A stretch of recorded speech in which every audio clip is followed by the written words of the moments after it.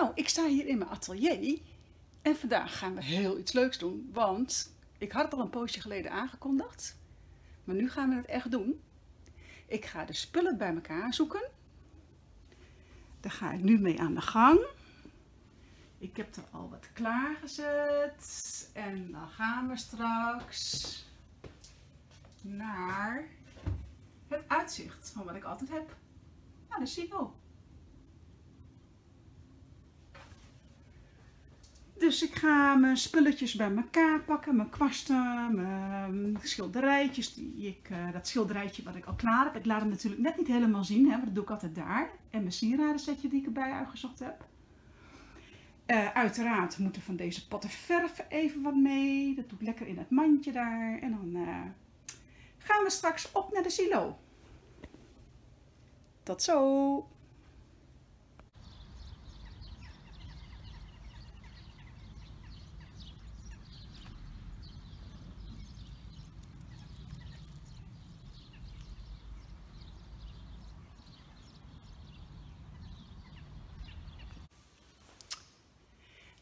Goedenavond, beste volgers van Atelier Typisch. Welkom op een hele speciale locatie. Want ik had het er al een poosje geleden over gehad, dat ik van plan was om een keer uh, naar de silo te gaan in Weel. Wat vlak bij mijn huis is, waar ik altijd uit, uitkijk.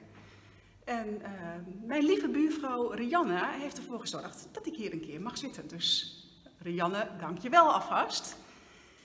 En uh, ja, ik ga hier dus op deze speciale locatie uh, filmen. En ik heb ook buiten even wat dingetjes gefilmd en die zal ik erin plakken. Dus we gaan een beetje plakwerk doen met, uh, met video-editing en zo. Maar welkom bij een nieuwe vlog. We gaan vandaag opnemen vlog 39. 39 van de 100, want het is een 100 schilderijen en sieraden project.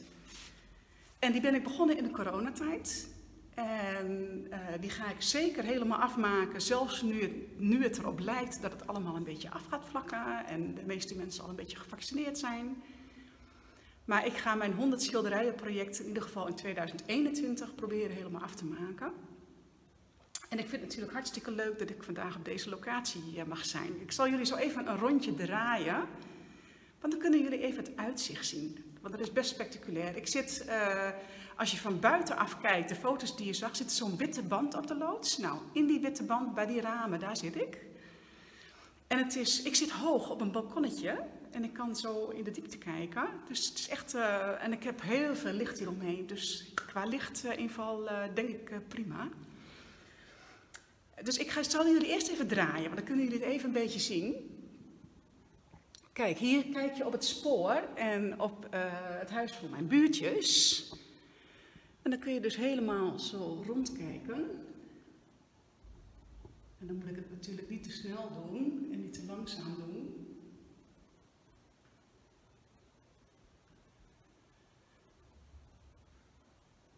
En daar ben ik weer.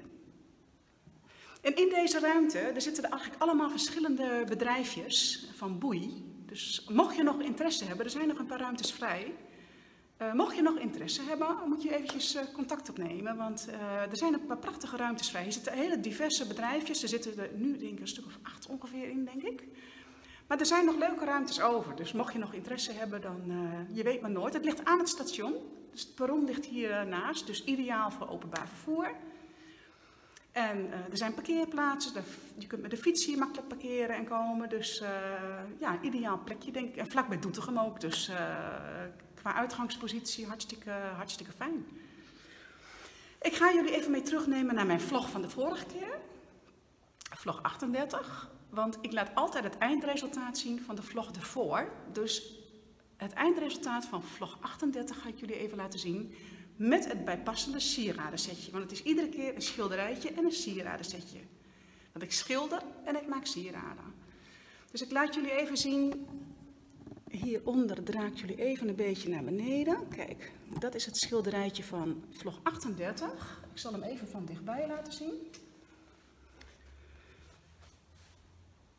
Geheel abstract, je kunt hem weer alle kanten ophouden, want er zit weer geen onder- of bovenkant aan. En ik heb hier best wel veel spatelwerk in gedaan. Dit is spatelwerk, dit is wat groffer. En dit, ik weet niet of de camera dat goed kan zien, maar dit is heel fijn spatelwerk, het gele. Het is wel weer een kleurrijk uh, dingetje geworden. En de sieraden zet erbij. Ja, kijk dan hoe mooi dat bij elkaar kleurt.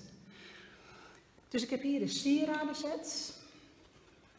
Dat zal ik ook even allemaal van dichtbij laten zien. Dit is uh, de halshanger. Sluit zonder sluitingje. Die kun je zo klemmen om je hals. 25 euro. En een armbandje. Ik heb zelf ook zo'nzelfde soort model om. Uiteraard ook in dezelfde kleuren erbij. En die klem je als het ware zo om je pols. 20 euro voor de armband. En een paar hartstikke leuke oorbelletjes. Ook in dezelfde tintjes. Dit zijn stekertjes. 12,50 euro. En dan ga ik jullie ook altijd nog even vertellen. Dan draai ik jullie even naar mij terug. Want dan vertel ik ook altijd even de aanbieding.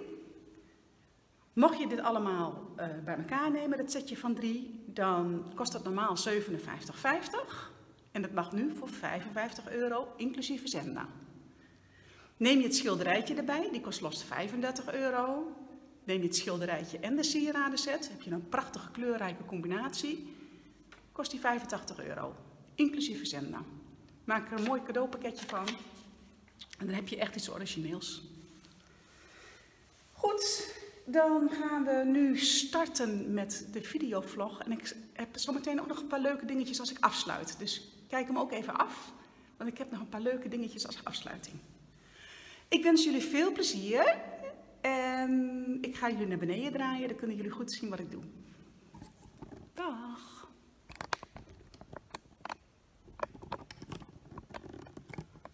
Nou, dit zit goed in beeld, zie ik.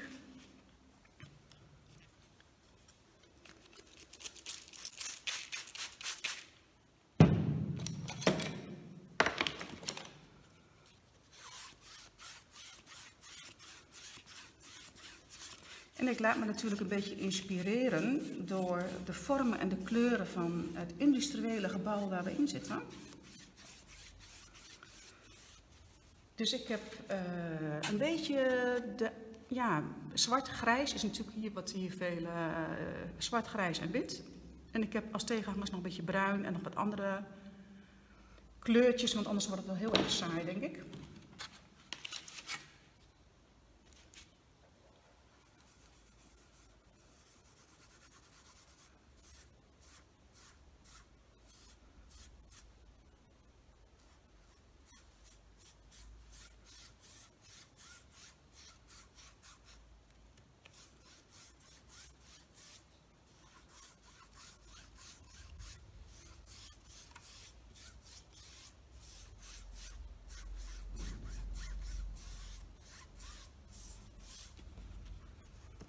En dat zijn canvasbordjes waar ik op werk. Dus die zijn een millimeter of drie, vier dik.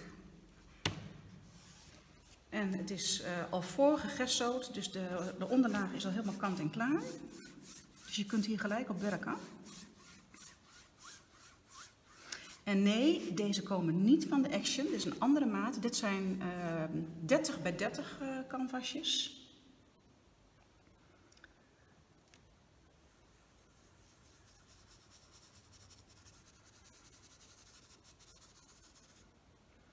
En ik werk altijd abstract en intuïtief. Dat wil zeggen dat ik geen plan heb. En abstract, dus het heeft niet per se een voorstelling. Soms komt er wel eens een voorstelling in, maar dan is het eigenlijk onderbewust.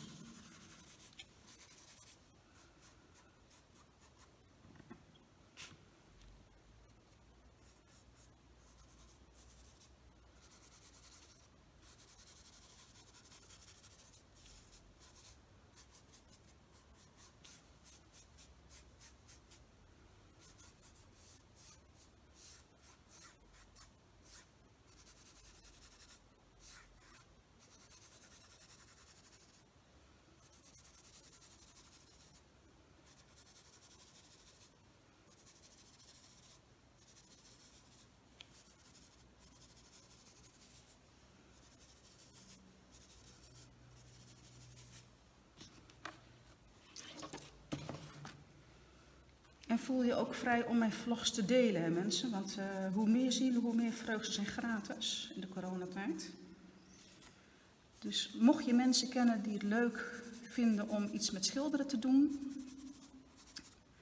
voel je vrij om deze link te kopiëren en te delen.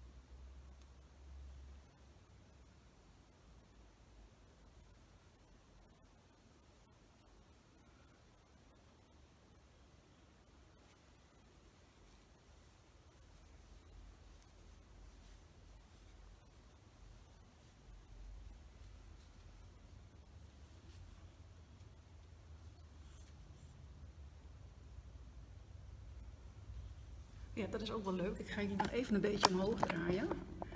Daar komt de trein. Ik weet niet of jullie dat kunnen zien zo. En je hoort de bel ook. En in de verte komt de volgende trein er ook alweer aan. Dus ik zal jullie even laten zien. Dat is wel echt grappig.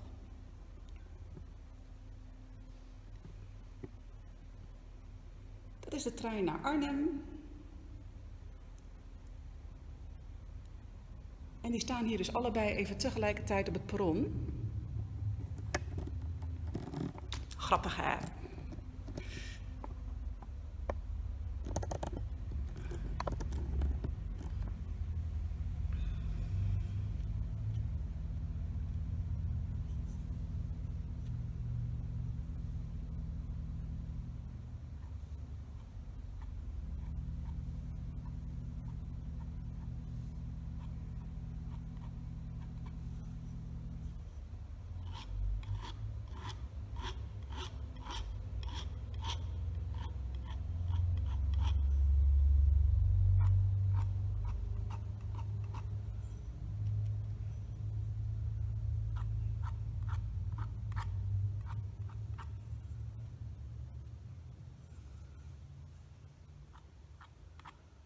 En dan is het ook gelijk weer stil. Hè? Dus vijf minuutjes en dan is het weer helemaal stil.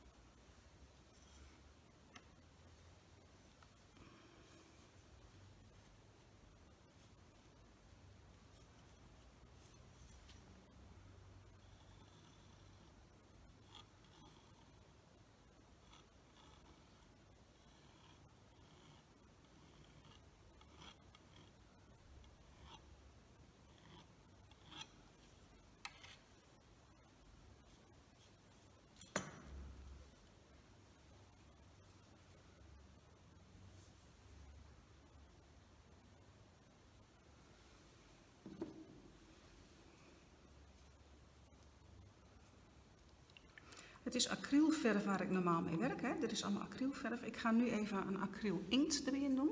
Een gele. Dat kun je dus niet doen met alcohol inkt, want alcohol inkt en acryl dat stoten elkaar af.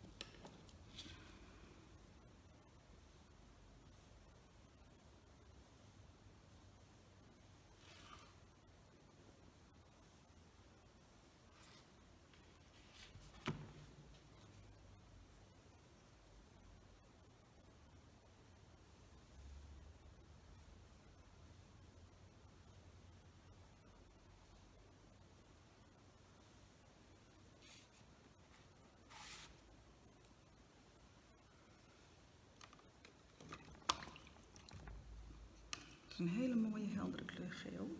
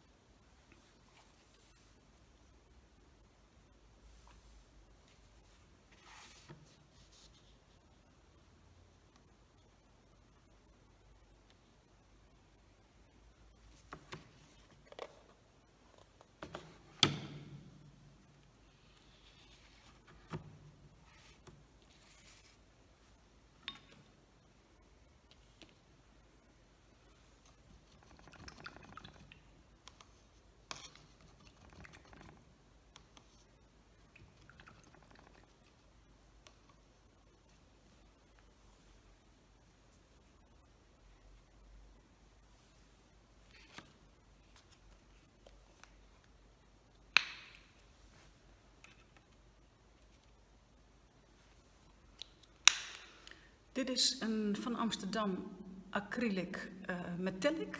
En dit is de kleur, even kijken, welke kleur was dat ook alweer? Dit is de kleur brons.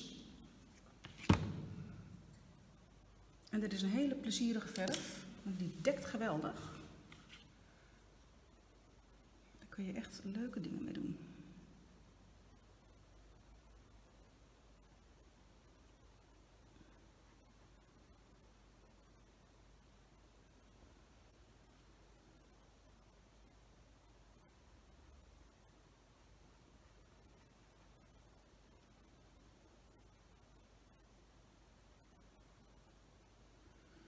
Merk ik wel dat mijn ondergrond nog niet helemaal goed genoeg droog is, dus dan dekt hij wel iets minder.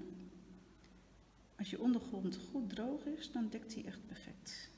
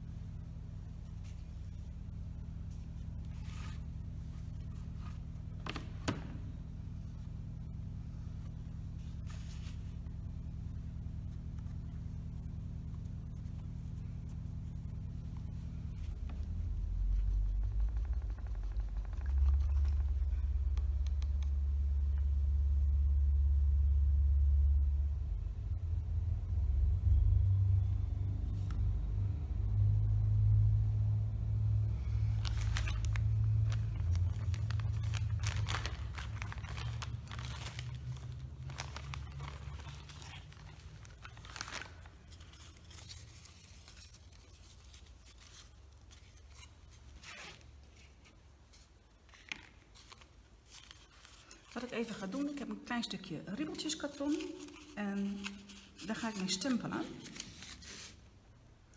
Dus daar ga ik even wat verf op doen.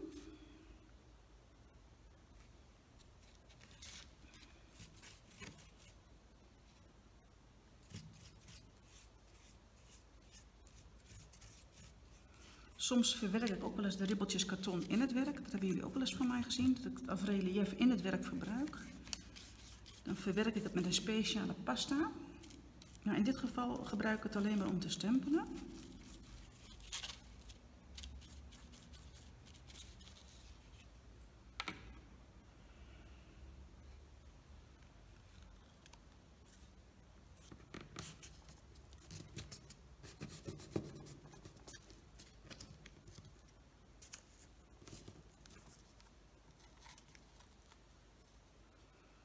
Geeft het een beetje zo'n ruig effect. Want ik vind het effect van dit gebouw, dat is ook een beetje... Uh, niks is echt helemaal glad. Alles is een beetje ruw. Dus dat vind ik heel erg passen bij de sfeer van het gebouw, dit.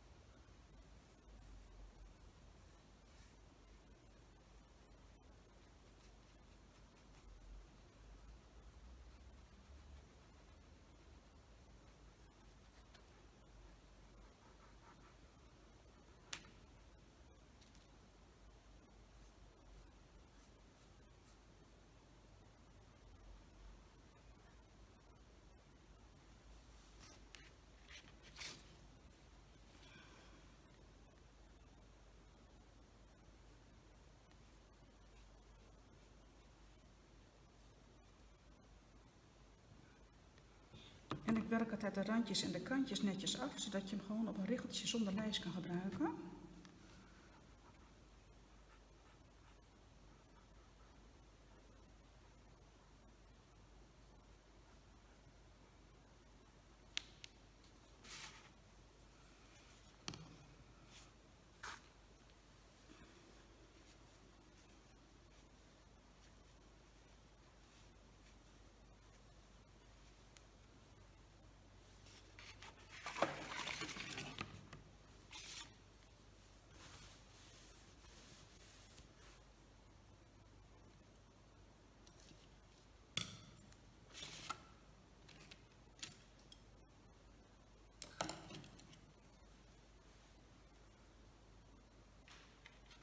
Oh ja, ik ga even deze kleur laten zien.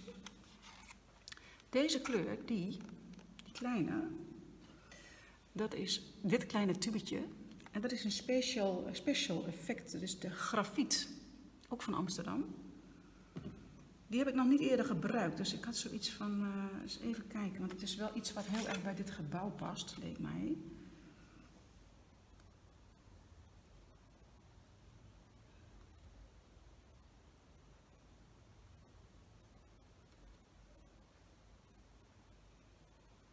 inderdaad een beetje schoolbordachtig iets.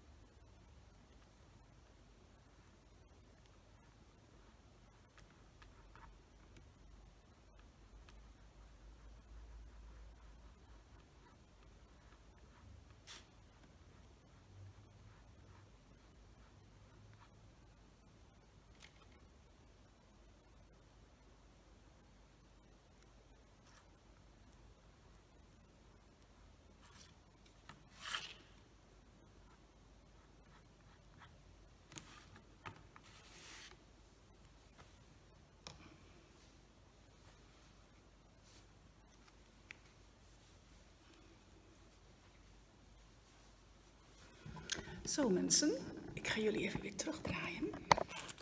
Zo. Want ik zie dat we al bijna, nou ja, alleen het schilderwerk is op 40 minuten. En ik heb natuurlijk nog wat filmpjes uh, eromheen uh, opgenomen. Dus al met al komen we dik op een uur, denk ik. En dat vind ik altijd ruim voldoende. Ik zal het even omhoog houden. Kunnen jullie het even een beetje zien hoe ver we gekomen zijn.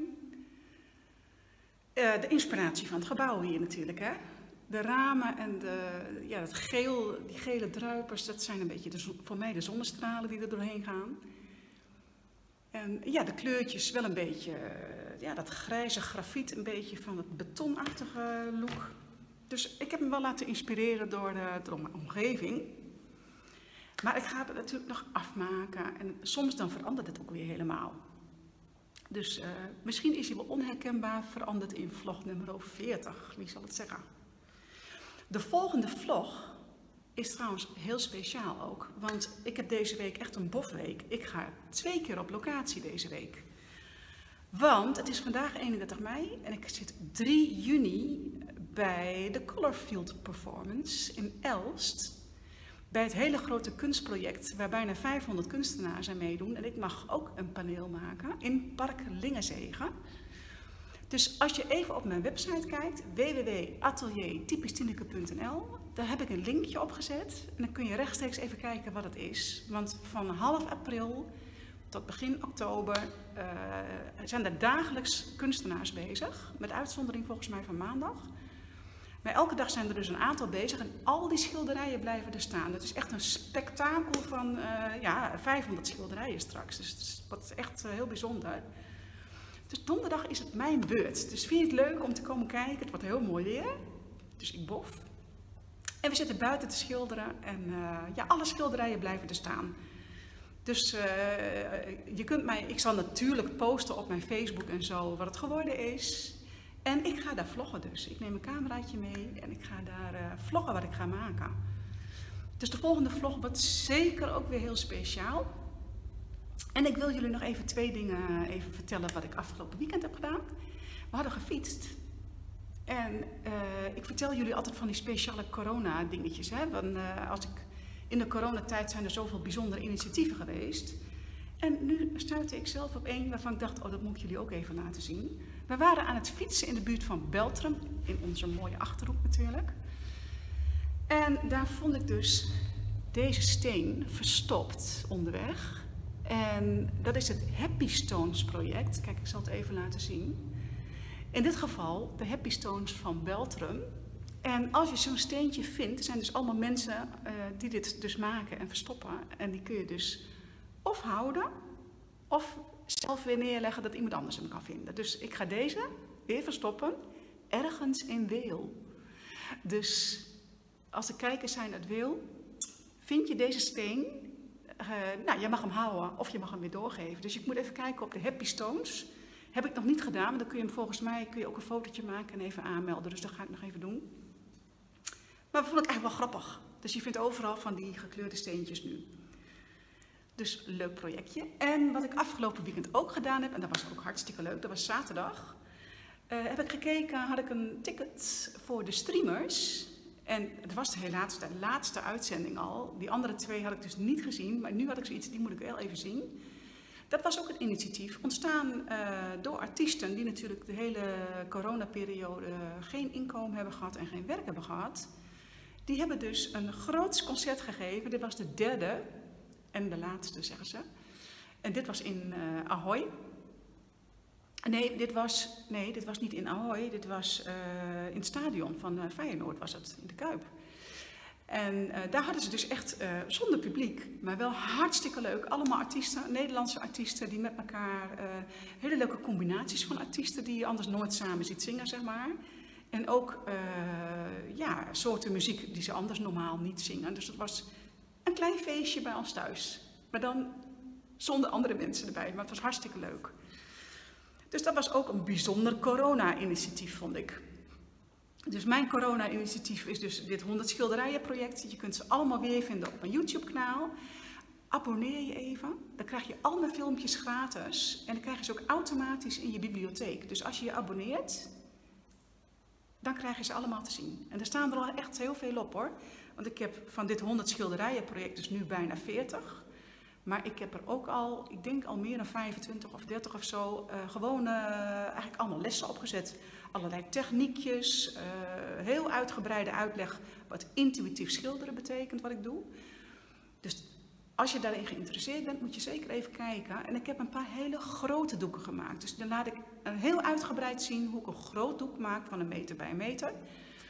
En dan uh, zie je het helemaal gefilmd. Dus het, het, is in verschillende lessen. In uh, vier of vijf lessen maak ik dan één groot doek. En uh, ja, ik denk ook misschien als je erin geïnteresseerd bent, leuk om te zien. Het is intuïtief, abstract. En het betekent dus dat je dus steeds allemaal laagjes over elkaar heen maakt. Waardoor je schilderij dus steeds met, ja, metamorfose krijgt eigenlijk iedere keer weer. Dus het kan wel zijn dat dit schilderijtje in vlog 40, als jullie gaan kijken, misschien best wel veranderd is. Dus ben je daar nieuwsgierig naar, moet je even weer kijken. En ik ga jullie even laten zien uh, hoe het uitzicht hierboven is. Want boven filmen mocht niet, maar ik ben boven op de toren geweest en ik heb even een stukje gefilmd. Dat heb ik al wel een paar weken geleden gedaan. Dus uh, toen waren de bomen nog niet zo groen, maar dan kun je wel eventjes onze mooie omgeving zien. Dus dat, uh, plak ik hier even achteraan. Dus dan kun je dat ook nog even zien. En uh, ja, wil je me volgen op Facebook, uh, Atelier Typisch Tineke, of voor mijn sieraden Typisch Tineke. Dus ik heb twee verschillende dingen. En je kunt me terugvinden op Instagram, je kunt me terugvinden op Pinterest. Dus mocht je me willen volgen ergens, welkom. En uh, geen verplichtingen uiteraard. Dus, en het is allemaal gratis en voor niks ook nog eens een keer. Mocht je iemand weten die uh, geïnteresseerd is in een bijzondere soort sieraden die ik zelf maak, dan uh, tip even iemand erop, of misschien leuk als een cadeautje. Uh, en mijn schilderijtjes, die zijn te koop. En, en ja, je, mag, je kunt hier ook zelf inspiratie uithalen, dat kan natuurlijk ook. Dus ik ga nu denk ik afsluiten en dan ga ik de boel een beetje opruimen. En dan ga ik weer terug naar huis. Ja, dat is op spuugafstand, zeggen we dan. Dus dat is hier heel dichtbij. Dus ik ga even de boel opruimen en netjes maken, eh, zodat ze niet zien dat ik hier ben geweest. Dat is een beetje de bedoeling. En hopelijk zie ik jullie weer in vlog 40. Dag!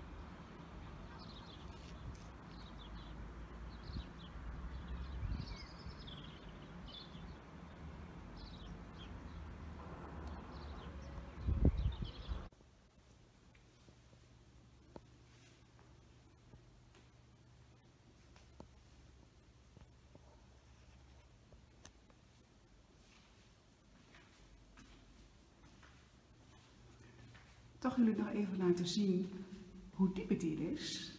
Dat zagen jullie natuurlijk niet. Zo heb je een beter beeld bij hoe ik erbij zat. Ja, super gave plek dit. Even kijken of we ons eigen huis kunnen zien. Even zien of dat lukt. Daarachter, ja, daarachter is ons huis. Ja, En het is een hele mooie avond. Mooie avondzon, prachtige lichtinval. Het was super. Dag!